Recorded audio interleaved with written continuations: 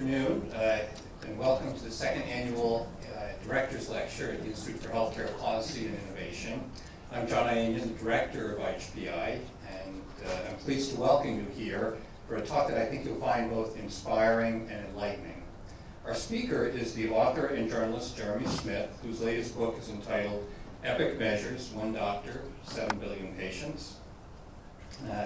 I found Jeremy's book to be a riveting story. Actually, I, I read it from start to finish last weekend and, and uh, was really captivated by it, and I highly recommend it to you. And Bill Gates even tweeted that it was a fantastic read, so it must be good. Uh, and before becoming a writer, Jeremy was a NASA-funded astronomer, a Hollywood movie assistant, a computer programmer, and a cartoonist. I've just confirmed that all of those facts are true. Um, and today, after settling in Montana, he's a writer of profiles of both people and ideas. In epic measures, he profiles Chris Murray, a Harvard and Oxford trained physician and health economist, but ultimately he profiles a big idea that we can strive to track every illness, injury, and death for everyone on earth and harness that knowledge to improve health, to prevent suffering, and to prolong life. Jeremy traces the origins and progress of what is now the Institute for Health Metrics and Evaluation at the University of Washington and their work to define the global burden of disease. Here at IHPI, we also harness the power of big data and collaboration to address key questions in healthcare and health policy and to make a difference in the lives of our patients and communities. That's why it's important for us to reflect on what Chris Murray and his colleagues at the University of Washington have achieved their global burden of disease, injuries, and risk factors study and other similar efforts can provide a model to guide our work. It was five years ago this week that the University of Michigan Board of Regents authorized the launch of our institute. What we achieve together at IHPI will depend in part on how we can learn from the experience of colleagues elsewhere who have changed how we understand and improve health. With that in mind, please join me in welcoming Jeremy Smith.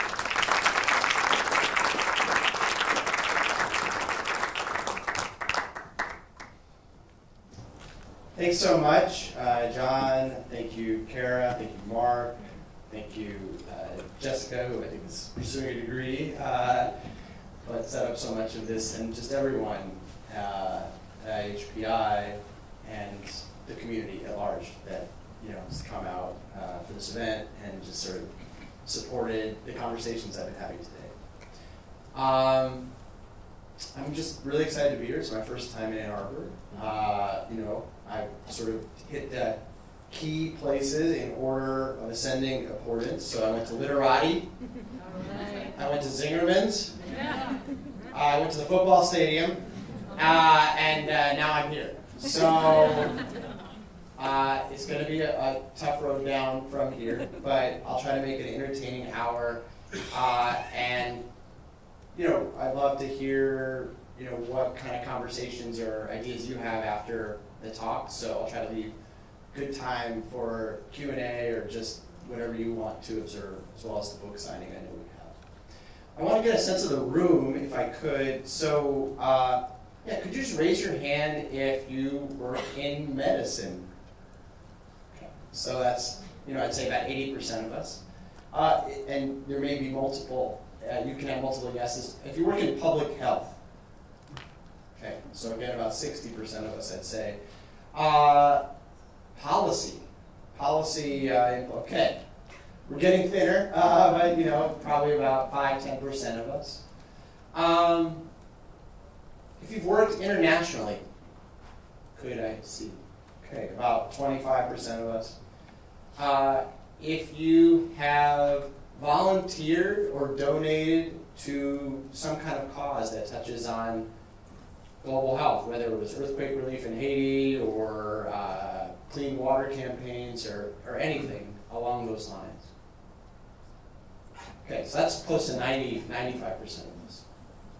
Uh, and it's kind of a funny question, I won't follow up on it, but just raise your hand if you have had someone you care about who has been sick and you are not sure that they would get the help that they needed.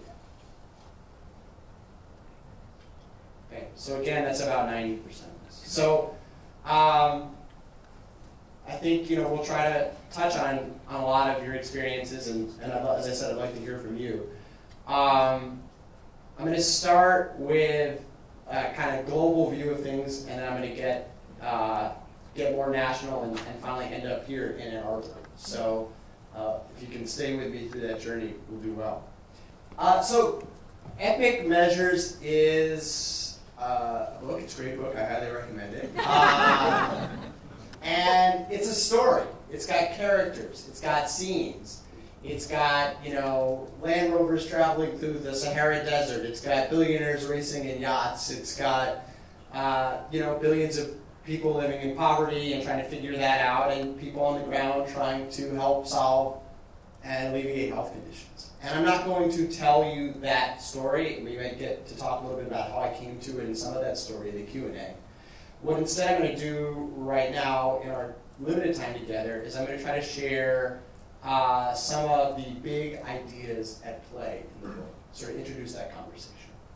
So, uh, Epic measures the story of the origins and impact of the global burden of disease study. In the global burden of disease study, you could think of as sort of Google Earth for health, where you can survey an entire continent like Africa and see what's killing people and making them sick, or zoom down to an individual country like Ethiopia or Australia or Canada, or where you have more data all the way down to a county level or even perhaps a neighborhood level.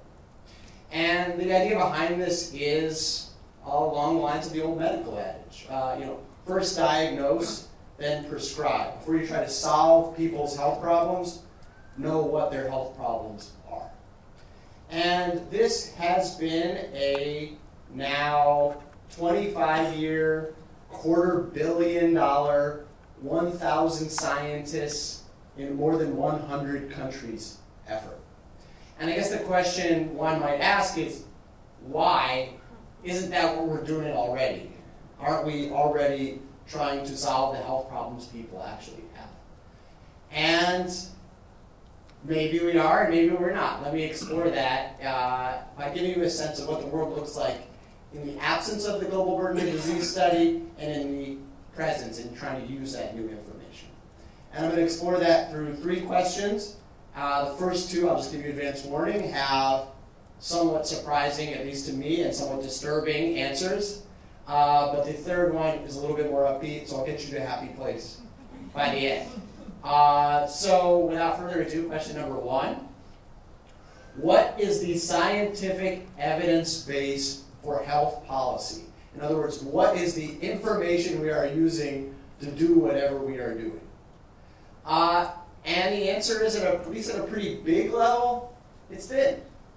Uh, and how thin is it? Well, uh, again, really big picture. This year, worldwide, 50 million people will die, approximately. Of those, only one in three will have a death certificate.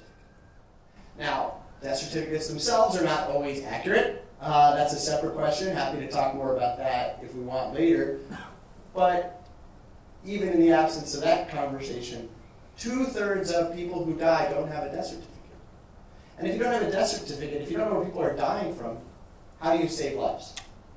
Uh, it's really different to try to save a life of a child uh, dying of malnutrition or a woman with breast cancer or someone uh, who has been in a car wreck, uh, or someone who has malaria, just to name you know four totally different kinds of causes of death or injury. Really different interventions. So how do we figure out what people are really sick from? How do we decide how to direct care? Well, in the absence of this information, we have individual groups that work locally or nationally, internationally, and they are usually devoted to a particular kind of place or a particular cause. So, for example, and they produce estimates for how many people are dying from their particular cause. So, uh, for example, you have the AIDS people at UNAIDS measuring AIDS victims. You have the malaria people measuring malaria. You have UNICEF looking out for diseases that kill children. Just in case they screw up, you've got Save the Children watching their back. Here in the United States, we have a similar situation. We've got the lung people looking for lung diseases. We've got the drunk driving people looking at drunk driving. Uh, we have the pink ribbon for breast cancer that's very famous.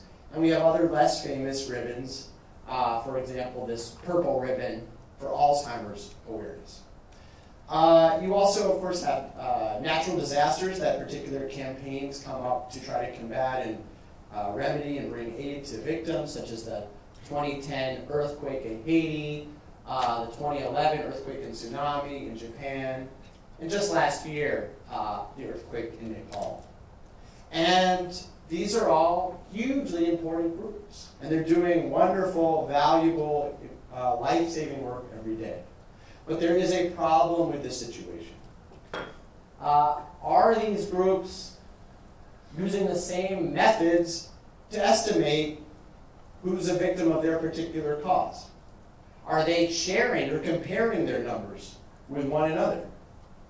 And sort of most dire of all, all of these groups have dual functions. They are both measuring the problems they're studying and they're advocates for the problem they're studying. And when you are an advocacy group, if you have a range of possible estimates of how bad their problem is, you're probably going to err on the side of reporting the higher end of that range because the bigger the toll of a particular problem is, the more you know, important it is thought to be. So just to give you an example of this, a story I tell in the book, uh, in the 1980s, the global health and international health community, as it was known in those days, was focused almost exclusively on child survival. It was UNICEF was ascendant, Save the Children, uh, you know, was at sort of a high mark in public consciousness, and this was really almost, you know, a very, very much the focus of the global health. And at the World Organ- the headquarters of the World Health Organization in Geneva, you had different groups studying different leading causes, killers of children. So you had a group studying children dying of diarrheal diseases, a group studying children dying of pneumonia, group studying children dying of malaria, and group studying children dying of measles. Okay? These were all in the same building in Geneva, about the size of this building, uh, but they were working independently studying their particular cause. And one of the co-founders of the Global Burden of Disease study did a really simple calculation. This calculation is so simple a second grader could in fact have done it, and I like to use it to start just to sort of illustrate where we were. He added up those four numbers. Okay? And when he did, he found that we added up the number said to die of that, that, A, B, C, and D. You got a number that was 10 million children more than the total number of children who died in the previous year. So you have the world's leading authority on global health had invented 10 million extra dying children.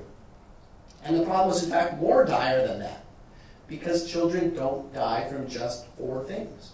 This was not counting children dying from congenital anomalies, for example, cancers, birth trauma, fires, falls, drowning, car crashes, just to name a few causes that take the lives of many children, especially in developing countries.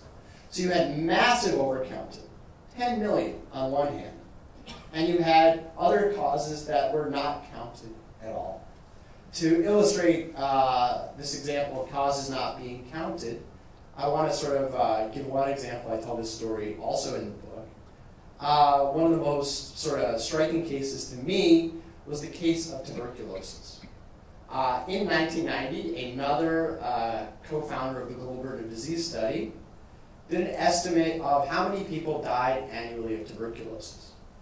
And his estimate was two and a half million people a year were dying of tuberculosis, almost all in poor developing countries. And the issue was that the primary victims of tuberculosis were not children. Most people dying of TB were adults in their 20s and 30s. They were the caregivers for those children. They were the breadwinners, often for the society, and the caregivers for the older generation. But they weren't kids. And because the international community was so focused on kids, uh, no one was looking out for people dying from TB. This was two and a half million, okay? It was the leading infectious disease killer. There was one person working on TB at the World Health Organization. Okay? I live in Missoula, Montana. There is someone on our public health staff who has like third time position devoted to TB. Okay? The leading infectious disease killer, the AIDS of its time, one person at WHO. And I don't want to just pick on WHO. The Institute of Medicine in Washington, D.C., uh, did a survey of its members and asked what were priorities for health research for diseases in developing countries. And they asked them to rank these diseases in terms of highest priority, medium priority, and lowest priority. Uh, can you guess what priority uh, TB, the leading infectious disease killer of adults, killer of 2.5 million people a year at this time, what, which one? Do you think it had highest, medium, or lowest? Lowest, I heard some murmurs. No one's brain just, it's not just think it's a reverse psychology, I'm not trying to trick you. Um, I got lowest. Um, no, it was not ranked. It was not ranked. I did not make the lowest ranking. By point of comparison, leprosy uh, was high was, was in the highest ranked category. Okay, so uh, it just gives you a sense of things that you could just be missing. You could literally be missing the leading infectious disease killer in 1990. Uh, so the scientist who began that estimate did a subsequent estimate. He, had, he, had, he was a medical doctor, but he also had gotten, he was a Rhodes Scholar and gotten a degree in economics at Harvard, I mean at Oxford, and uh, did, a, did a calculation that was published in Science uh, later that year. And uh, by that calculation, he suggested the thing about TB is that fairly inexpensive, fairly effective treatment exists, which is why it was especially frustrating that it had just been missed. And his calculation, again, this is in $1990, uh, was that it would cost about $700 million to treat all new cases of TB worldwide. By point of comparison, the estimate was that it would cost $4.1 billion to just deal with the after effects of not treating TB in the United States alone. For about the 20,000, 30,000 people, mainly in New York City and a couple other major urban areas that were also dealing with TB. So, worldwide, $700 million to treat, or not treat $4.1 billion in just the US alone.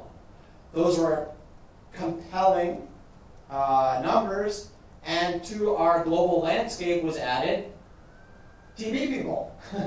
uh, World TB Day, and not super long after, the Global Fund to fight AIDS, tuberculosis, and malaria. Right in the middle, hiding, is tuberculosis there. Um, so the landscape changed, and that's, that's great.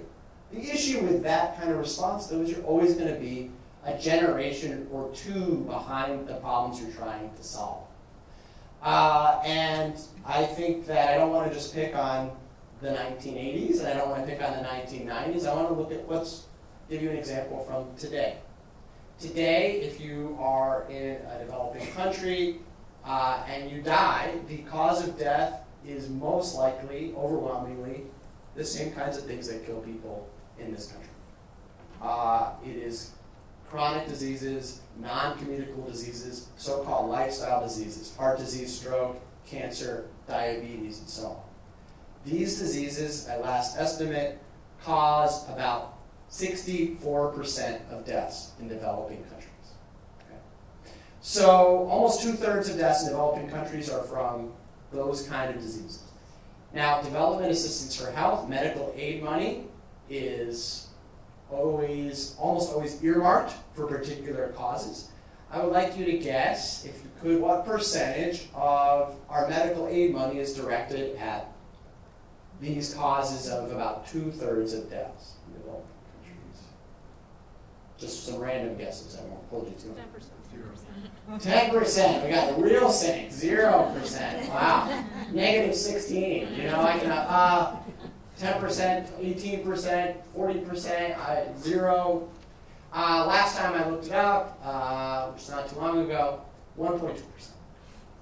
So, two thirds of deaths, 1% of funding directed to this. It doesn't mean you should always match funding directly, one to one, you know, things cost different amount of money, but that's quite a mismatch, I would say. And that's today, in our world, 2016. So that leads me to question number, uh, you know, that's, so again, the question was, what is the scientific evidence base for health policy? How much information are we using to direct what we do? That's a sense of the mismatch today. Uh, question number two. Are we measuring the right thing? So I've been talking to you guys about death. And that makes a lot of sense, right? Isn't that what you'd want to stop? Death, right? Uh, it would seem like pretty obvious yes, we wanted to save lives. And maybe it is, and maybe it isn't. I wanted to just sort of explore some alternative ways of thinking. So, for example, uh, every year, or this year I should say, probably about 6 million people worldwide will die of stroke. Uh, by point of comparison, about 300,000 will die of meningitis. So, is stroke 20 times greater a health problem worldwide than meningitis? Maybe it is. Something to know, though, I think, is that the average person who dies of stroke will be someone age 75 or older. The average person who dies of meningitis will be a child under the age of five. Are those different situations? If you think they are, you might be interested in this other way of thinking, which is this calculation called years of life lost. And it's pretty simple. It says, where do people live the longest on average in the world? Places like uh, Switzerland, Japan, Norway. And lifespan there is about 85 years on average. And it takes that as an ideal and says, okay, if you die short of that ideal, you have lost that many years of potential. So, for example, if you die of stroke at age 75, how far are you from that 85 year ideal? I know it's Monday. I know it's the afternoon, but you can do this. 10. Thank you. Yeah. So that would be 10 years of life, potential life lost. Yeah. Uh, what if you die of meningitis at the age of five? How many, you know, years, of, how far are you from that 85 year ideal? 80. Yeah. So when you look at it with that metric, a sort of typical death from meningitis is going to be eight times greater in toll than the death from stroke. Typical death. So there's a problem. Even with this, we're still missing something. We're missing, in fact, by far the leading cause of pain and suffering, the leading driver of healthcare visits, by far the leading driver of healthcare costs here and around the world. And that is, of course, everything that does not kill you. Uh, so, if you are blind, if you are deaf, if you are anxious, if you are depressed, if you are disabled, if you are disfigured, if you are simply sick, your condition does not show up even in a perfect record of death, even in a perfect record of years of life lost. Okay? Uh, every time you go to the doctor and don't die afterwards, you are showing what is missing with these conventional ways of measuring health. So, to that other measure, uh, years of life lost, has been added for the Global Burden of Disease Study, a measure called years lived with disability. And the math here is a little trickier, but I'm, I'm happy to talk about it more in the Q&A. But in short, years of disability is how bad is to have a particular condition times how long do you have it. Severity times duration. Do you have a broken arm and it's okay for a few months? Do you have a bad back and you have it for 20 years? Those are going to be different. Are you blinded for life? Uh, you know, are you depressed for years? Are you depressed briefly, etc. Uh, and what's interesting about that is that gives you a measure also in a unit of time. So you have comparable units ultimately. You have quantity of life lost with years, YLLs, but years of life lost. And you have a proxy for quality of life lost, years lived with disability. And when you add those up, you get total years of healthy life lost to a particular.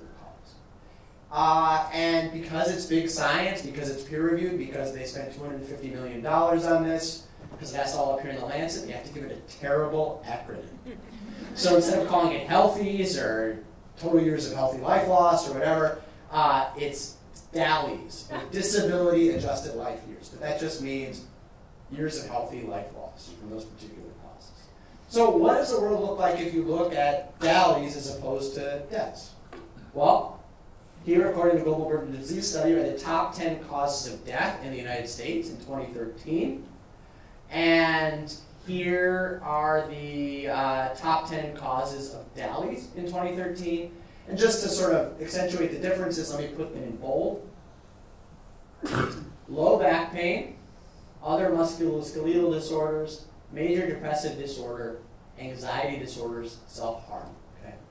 So you've got five items in one that are not in the top 10 in the other, and the four of those low back pain, other musculoskeletal disorders, major depression, anxiety, kill no one at all. Okay? But tens of millions of Americans suffer them in great severity for long periods of time, such that they are ranked this high on this list. And self harm is interesting. Uh, that, you know, in shorthand is, is usually suicide. Uh, in that it's going to have a high toll, not just because many people will die from it, but suicide victims on average are going to be at a much younger age than, for example, the average person who dies of COPD or lung cancer. And so you're not just having a lot of deaths, you're having a lot of potential years of life lost. The victims are going to be younger. And I wanted to flag uh, number 11, too, just I thought that was interesting on the list. It's neck pain. Uh, so this is something that is like so, uh, you know, I never, I don't, don't ever hear people talking about neck pain, I guess is all I'm trying to say. Uh, and in fact, it's something that we proverbially dismiss. It's like a pain in the neck. Uh, and yet, according to this measure, it affects people, so many people, so severely, uh, that it's 11th on this list. It's not far behind, you know, some of the leading causes of death.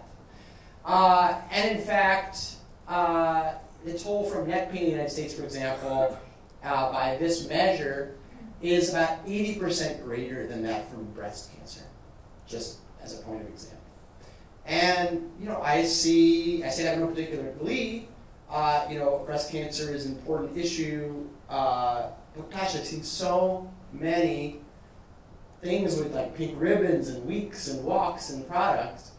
I've never, ever heard of anyone or anything talking about, like the National Football League, the NFL, has a week where they dress every team up in pink. Uh, if you can't even get the NFL to care about neck pain, uh, you know, who can you? So it's just a different way of looking at things, and it shows there may be some things that are huge drivers of health loss that are just being missed. So uh, I want to get to that third question. What if we buy into this stuff? What if we use new evidence and new measures? You know, how far and how fast can we improve? Say you buy into this, what kind of results can you get? Uh, a couple interesting examples. I've got a ton, tell a lot of stories in the book from around the world, Rwanda, Vietnam, Thailand, uh, Saudi Arabia, and so on, but I'll, I'll, give a couple that are not from those that I listed, but happy to talk more about any of those. So here's Mexico. Uh, Minister of Health in Mexico was one of the first to be interested in the burden of disease approach. Uh, and said, this is really interesting, I love this view of things, I want you to do come to Mexico and I want you to do a burden of disease just for the country of Mexico. So we don't just have national data, we can do this all the way down to the county and province level. And what they found was alarming. Uh, they found that the Mexican health system had been built for the Mexican health situation of the 1950s, when you had a lot of children, especially dying of infectious diseases. You had women uh, giving birth to seven, eight, nine kids in the course of their lifetime and often dying in childbirth. And that was just no longer the case in the year 2000 when they took this new study. Uh, a lot of these infectious diseases had been largely tamed. Women were having not only much safer birthing conditions, but were having just about the same number of kids as in the United States, about two per couple. And the leading cause of death was now heart disease. And diabetes was about to become essentially an epidemic in Mexico. You had scores of people dying of road injuries or being injured in road injuries. You had breast cancer, ovarian cancer. You had, of course, a new scourge of HIV/AIDS, uh, and you still had like back pain and neck pain and anxiety disorders and depression that just had been on no one's radar screen, much less those who'd set up the health system in Mexico in the 1950s. You also had a situation that's very familiar to us in the United States, where you had about 50 million Mexicans who were essentially excluded from the healthcare system because they were not insured. They were the self-employed, the unemployed, and those outside the labor market. So you had a system that was completely ill matched to the needs at hand and excluded 50 million people. So that was pretty compelling evidence. It was also leading cause of uh, you know, uh, personal and corporate bankruptcy, as the United, I mean, personal and business bankruptcy, as the United States. So that was really compelling to see that kind of, you know, it's one, one thing to say that 1% to 64% kind of mismatch uh, at a global level, because we can always think the globe somewhere else. But when we talk about our own country or our own region, that kind of mismatch becomes personal. And uh, in Mexico, they were able to uh, pass significant health reforms uh, based on the burden of disease. And the idea was this we're going to cover the whole population, and we're going to offer uh, our subsidized services and our research priorities and our medical training to the problems people actually have on the scale to which they have them. That's going to be how we kind of work with things. Radical approach, uh, and it passed the Congress of Mexico. And this is a story I was not aware of prior to you know, writing this book. But there is a country in North America that has achieved a form of universal health care in the last 10 years. Uh, it just happens to be that that country is Mexico. So that's an example of one way to use that information It's a pretty widespread reform. Totally different example, Australia. Australia already has a single payer or public healthcare system, uh, but single payer, as you all know, is not magic. It's still money being spent. Uh, how do you figure out you can't just cover everything for everyone every time, everywhere, and everything be fine? So they also commissioned a Australia-specific burden of disease study, uh, and they used it to focus their public health spending primarily, their preventative care. They said, can we try to stop our problems that we, you know, our leading issues in the way that we have, to the degree that we have. And it's a really interesting story to me because there are about 40 wealthy countries in the world. And the United States and Australia, a generation or two ago, in terms of a lot of health outcomes like life expectancy, were right in the middle of the pack. They were both around 20th in terms of a lot of those kind of measures. Uh, and Australia has seen rapid gains. If you are a man in Australia today, you are more, a little boy born in Australia today is likely to, expected to live longer than a little boy born in Japan. Life expectancy for men in Australia has now in the top one, two, three in the world. For women, it's around five or six. Uh, the United States in that same time period has fallen just about last among developing countries, developed countries. So I think about 40 seconds. Uh, so you can start at the same place, take different measures, and go different places. It's not just wealth is your only determinant. So uh, I was interested in those examples, but I don't want to just say everything's terrible in the United States because there's lots of wonderful, amazing progress happening in the United States. Uh, prime example, New York City. Here is a map of life chart of life expectancy gains in New York City. If you are a kid born today in New York, you are expected to live 10 years longer than you would have been a generation ago. If every county in the United States had the same gains as New York City, we would be the easily the longest living country in the world. Not 42nd, first. And I also don't want to just think only in New York either.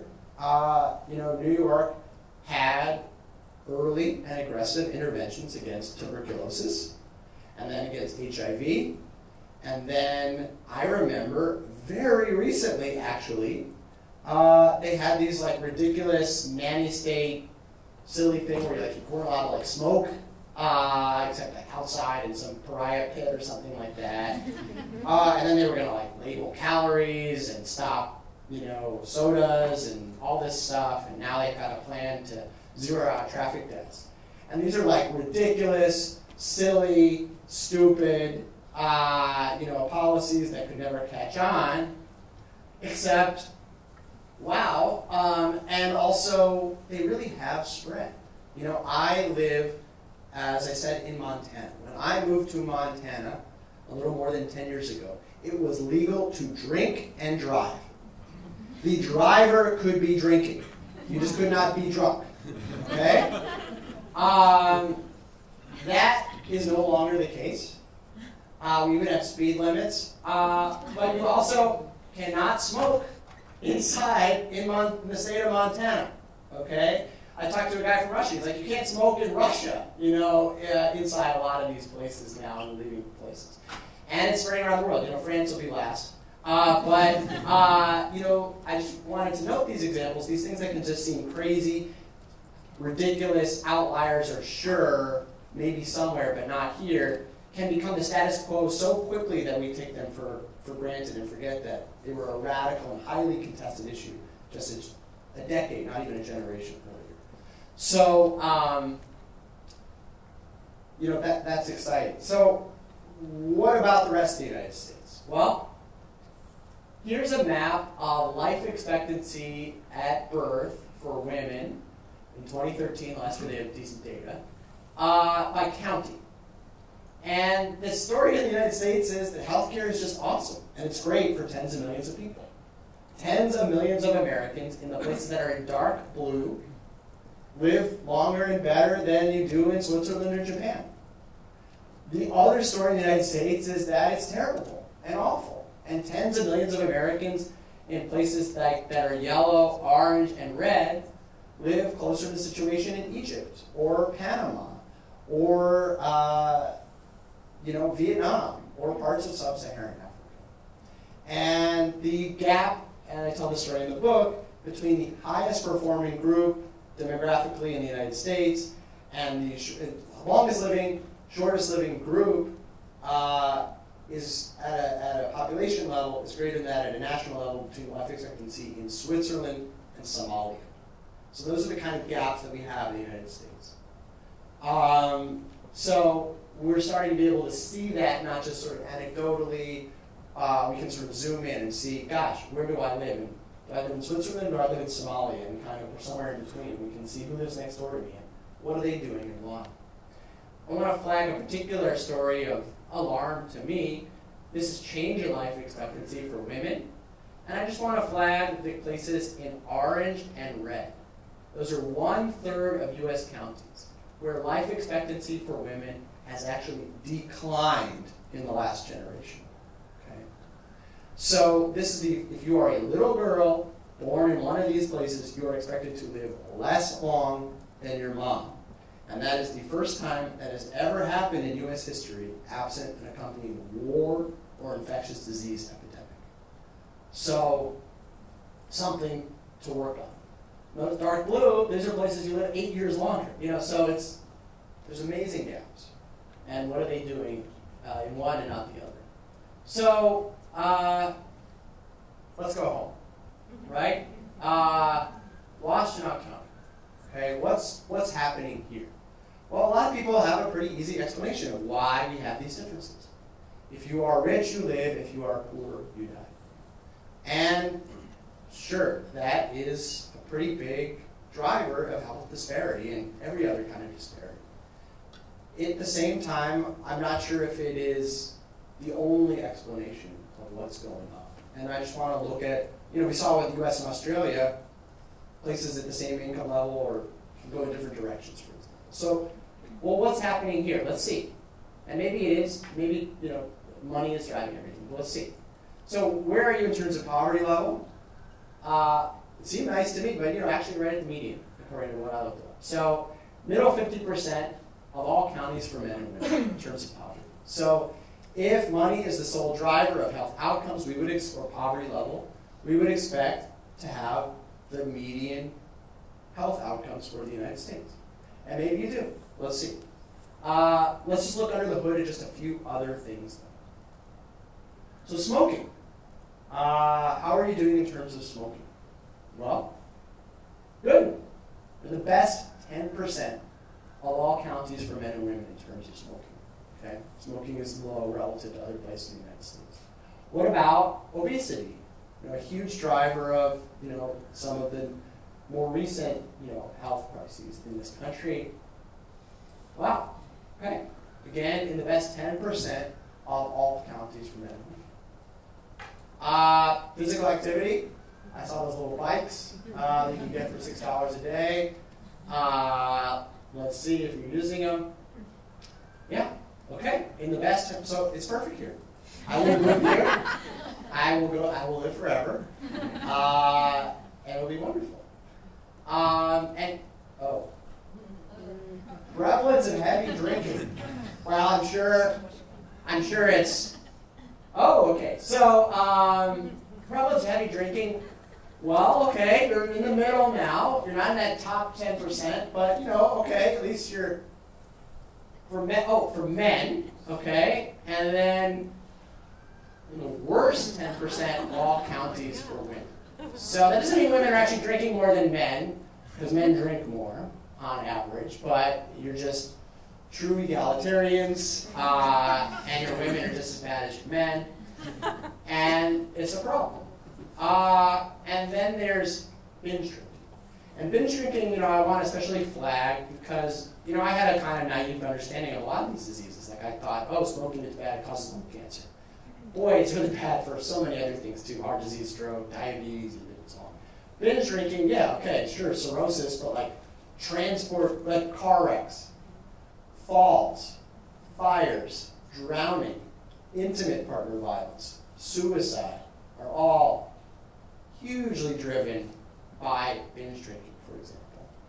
Uh, middle 50% for men, worst 25% for women. So I think it's interesting to look at these just because I often find that we don't know what we're doing well always. Maybe you thought Ann Arbor was, was happy and fit and doing great and didn't smoke, or maybe you didn't. But it's good to know what you're doing well so you can keep doing it. Because if you don't know what you're doing well, you might stop. And it's good to know where you might be able to improve so you can see where you can nudge that, that line even further. So wherever you end up being, maybe it'll be right at that 50%, just like the income. But there's other things going on. Maybe it'll be you know somewhere in between.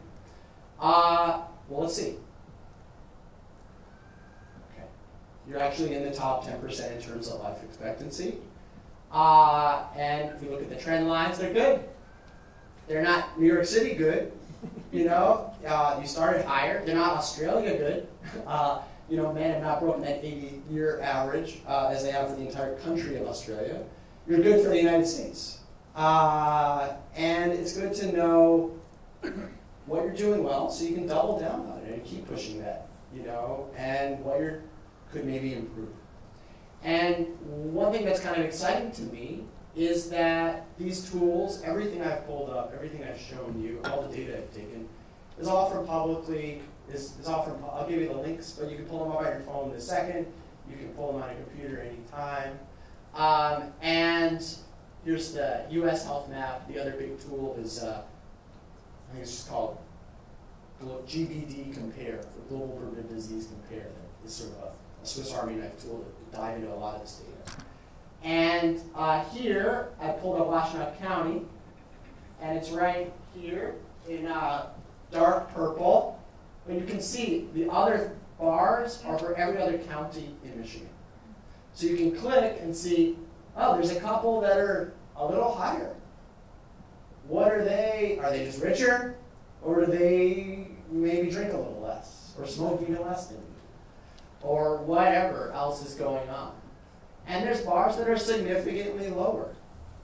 Um, you know, I wish it's only for Michigan. I can't see how horrible it is in Ohio, where Ohio State is. You know, uh, but uh, you know, we could click there. It wouldn't be that hard.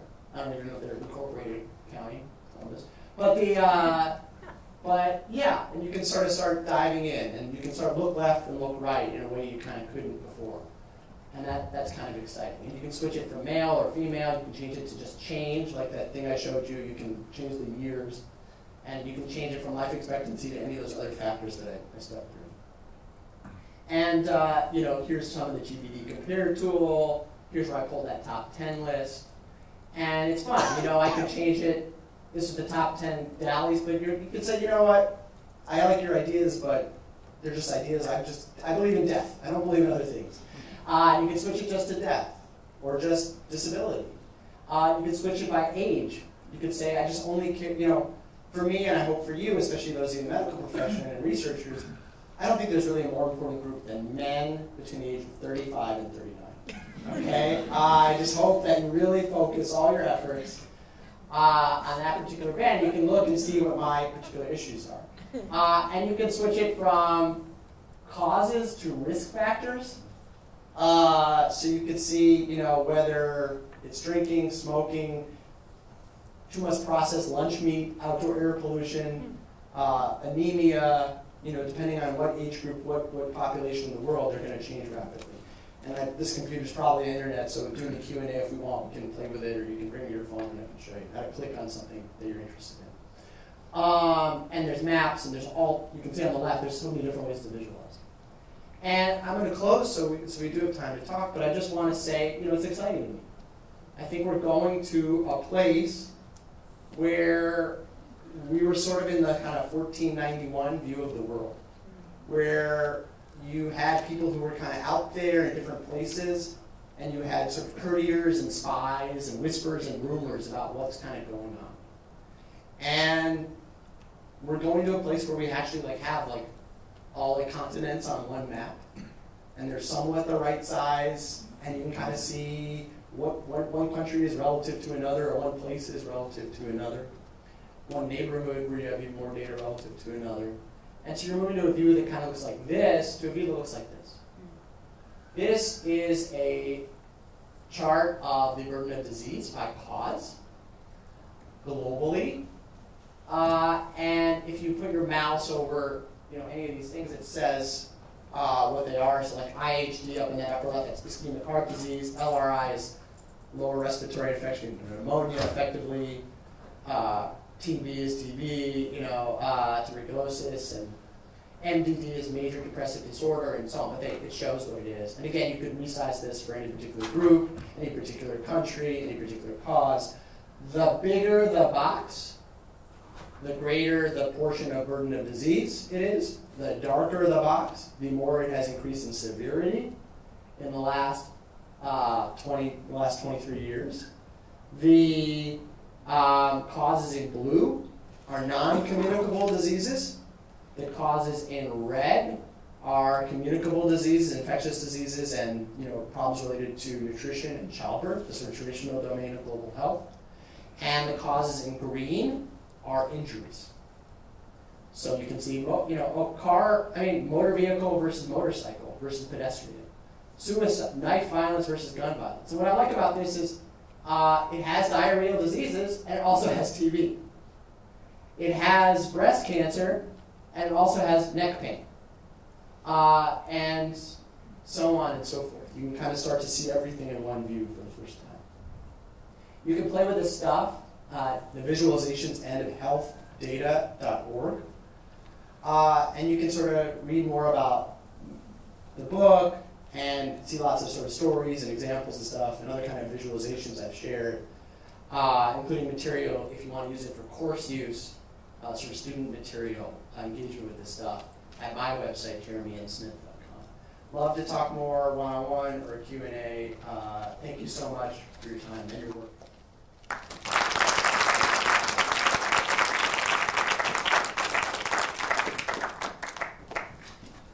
So, um, I think I am the one who's taking questions from you to give to me. Uh, Kara, uh, are they over, are there mics or something? We'll If you- just have them say from the, from the audience. you And I can just repeat it, Yeah. yeah. If you have any question or, or statement or uh, indignant, something, yes, yes, please. Well, that was terrific, thank you. Um, So, what is the evidence, if you use that map you just showed us, the last Yeah. thing, and you said, well, let's design an intervention for a community that's based on it, Yeah. that you actually can do better. Makes sense, but better than just going into where my daughter-in-law works in the poorest country in the world, in Malawi, and, well, we have to do a few basic things, and it doesn't really matter what's on that chart. So, I'm not sure if I understand the question right, but I'll try it. So the question is, what is the evidence? How do you use this to do things, or what is this, or what is the evidence behind that chart? Those are sort of two different questions. Not the evidence behind the chart, but Yeah. the evidence of using Yeah. it. How can you use that to, to do it something? as your tool Yeah. to design your intervention. So, so yeah, so there's a few different things, right? You, uh, my mother, you know, likes to quote, you know, comparisons are odious, but they're quite uh, instructive to uh, policymakers. Okay, so if you can say, here's our peer, and look what they're doing, and look where we are, then people get embarrassed. If you go to Yemen and you say, look what France is doing, well, great, that's France. If you go to Yemen and you say, look what Oman is doing, oh, okay. You know, if you go to South Africa and you say, here's, here's where Nigeria is beating you, that's of interest to South Africa, okay? Uh, you know, China and Hong Kong. uh, not China and Hong Kong, China and uh, Taiwan, you know, or have interest in what Pakistan and India, you know, for example. And so that is a instructive point of comparison to say, here's something where we're lagging our supposed peer.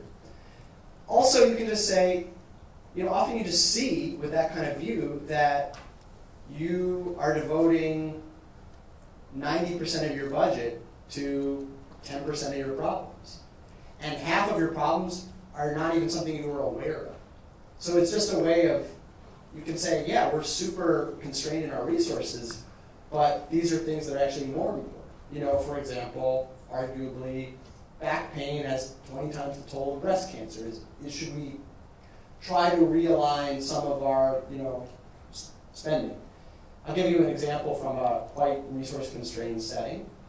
Uh, Rwanda did a uh, took the burden of disease stuff right from the internet, wasn't a bespoke version of it, and looked at risk factors. And these risk factors, as I said, they could be smoking, they could be outdoor air pollution, they could be dirty water, they could be diet-related issues. And they were really surprised at what the data suggested was the greatest driver as risk factor for the burden of disease. And it was indoor air pollution. Uh, that just wasn't on their chart particularly. Certainly, you know, uh, globally, by this measure, is many times the toll of, for example, unclean water and sanitation, is indoor air pollution. Because it's very common, it, it's basically equivalent of an entire household smoking all day, every day. People go blind, people get cancer, people get heart disease, and a variety of other debilitating conditions. And this is a country with very little money, but seeing that information did their sort of uh, version of cash for clunkers. And the government put the resources in to swap out 1 million dirty cook stoves for cleaner, cleaner burning cook stoves. So that's just one example of many, many, many. I could say, I could talk about road injuries in Vietnam. Uh, I could talk about uh, depression in uh, Australia. Could talk about you know obesity and other just sort of uh, drivers in Saudi Arabia. I could talk about violence in Colombia. Those are some examples.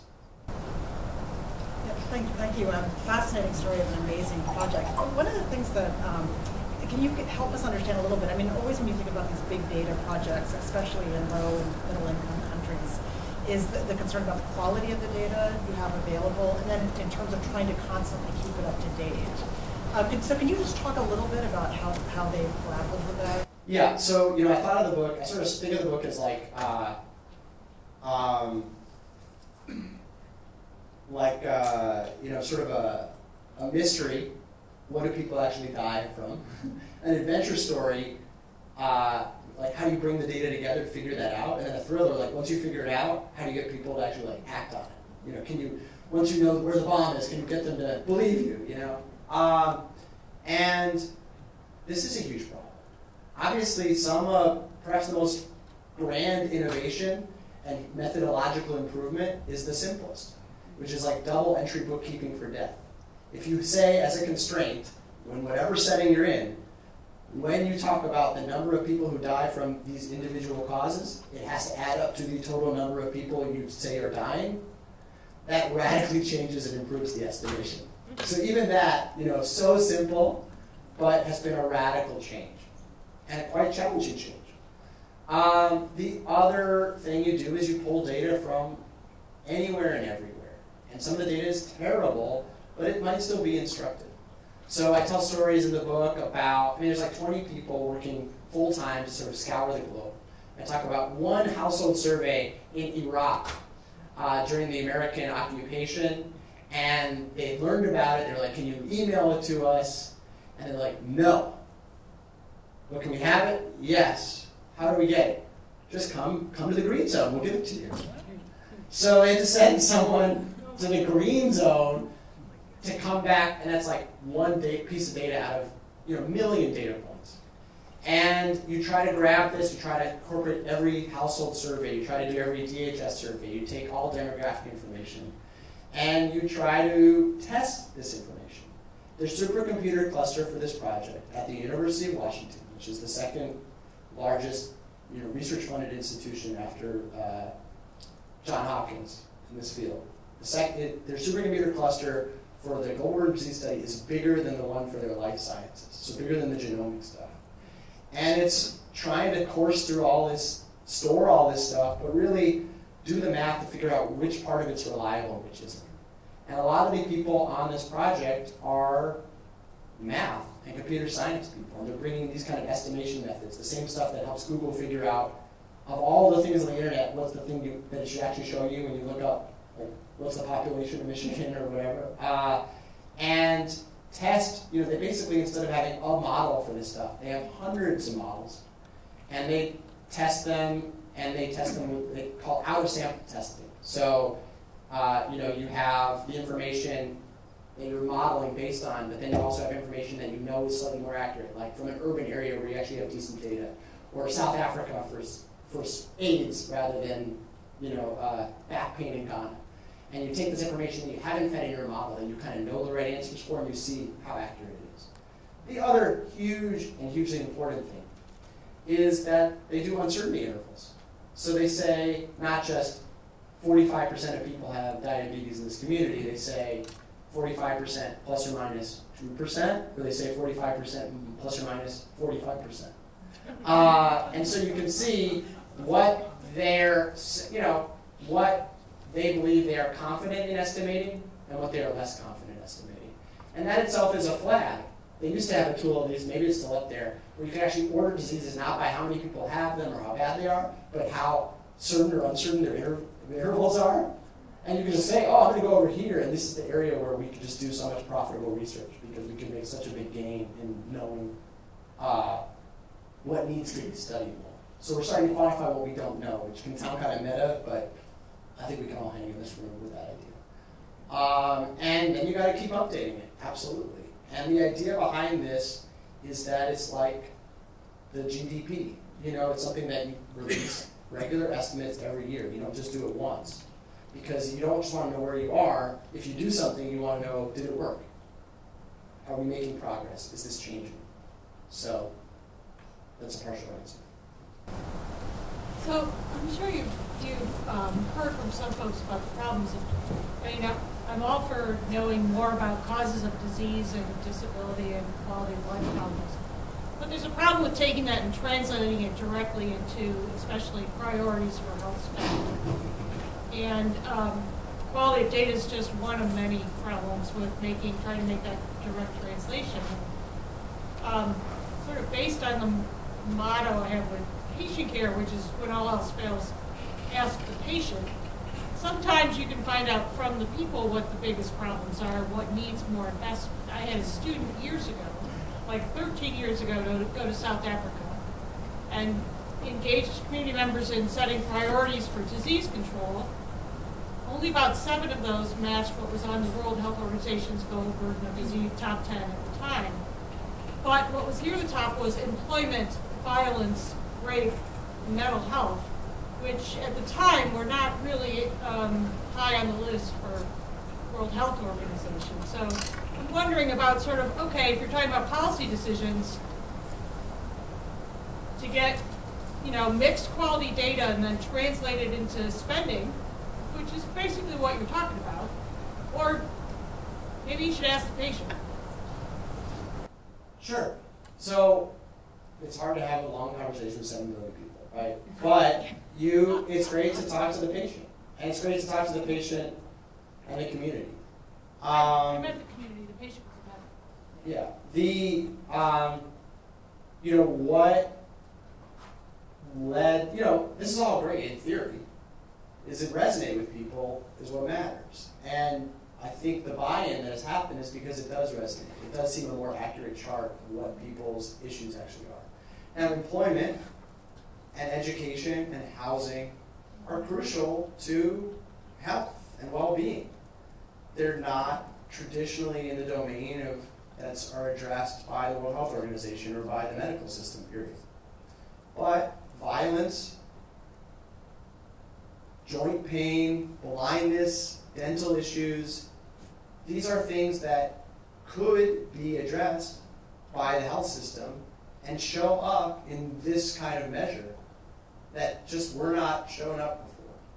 And so, for example, in the first burden of disease study, you know, I, I can't speak to the particular priorities that you're mentioning without seeing the source or where that uh, came for the WHO. But in the first burden of disease study, you know, it showed for vast swaths of, you know, uh, the Middle East, like uh, heart disease was just much more dire than malnutrition. And that, you know, there were just places where it was a one size fits all sort of solution. We had to just save these starving children that just weren't there in large numbers. In other places in like sub-Saharan Africa, uh, vision loss and uh, you know dental caries were high, were in their top 10. And those are just things that nobody, you know, people had not had in that domain of global health. It's like we're going to cure, we're going to eradicate polio, but people are like, well, okay, but there's like six, you know, I, good, or we're going to give you bed nets, but it's like, well, my teeth really hurt, uh, and my back hurts, and just sort of, uh, we have a shifting demography. I was saying to someone earlier, you know, I used to think of looking at the data. A lot of this, a lot of these things, especially in black, are recurrent throughout the world. The causes of, the, I'm sorry, put another way, the leading causes of death vary dramatically from country to country, especially from rich to poor countries. They're very different. The leading causes, you know, the, the top cause, that is. The leading causes of disability are remarkably consistent. And they're not being particularly addressed in rich countries, and they're really not being addressed in poor countries. I guess I was more talking about the knowledge at the local level. In this particular study, for instance, malaria was high on global burden of disease, and including in South Africa. But in this particular community, it wasn't really a problem. So when they're talking about public health spending at the local level, local knowledge can be very valuable. Absolutely. And you look at this, there's not, this, this is the United States, right? Like as I said, you can't talk about the health of the United States. It just doesn't make any sense because you have tens of millions of people living in Switzerland, you have tens of millions of people living in a radically different place. And you have people living in between, and they're living there for different reasons. And so when you can zoom in to the community level by talking to people, uh, or by getting this at a more granular level. They're doing pilot projects to do this at a zip code plus five level in King County, Seattle, in Fulton County, Georgia, and New York City. So then you're at basically a five block radius. You're getting this kind of information. And you see, again, the sort of disparities at a county level. You see that, uh, you know, Australia, for example, has wonderful health outcomes in aggregate compared to most countries. If you look at the Aboriginal and Torres Strait Islander people, they did a specific burden of disease study for that group. They're terrible. One in three men are going to die before the age of 60. Uh, and so, and they have different health issues. So you should, you know, if you can target, you'll often find that uh, half of your burden of disease is like concentrated in like 10% of your population. And so if you can find where that population is and ideally talk to them, see if, you know, don't, don't just solve their problems before you verify what they are. But hopefully this is a step more accurate than, than, the- than what was the status quo.